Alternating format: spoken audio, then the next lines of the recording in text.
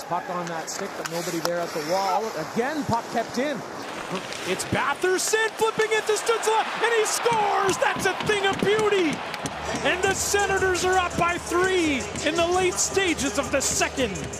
Wow. That is an unbelievable touch play by Batherson. And the patience he puts on display here is simply amazing. Good job in the forecheck. It's kept in at the line. Now here you think he's going to move it. He doesn't, but he flips it to an area where only Stützle can get it. Stützle's got to step on everybody so no one can see that pass coming. And when it arrives, it arrives flat on the tape, and Stützle does the rest. Amazing stuff. 19, 18, 4-1. And that's a cushion.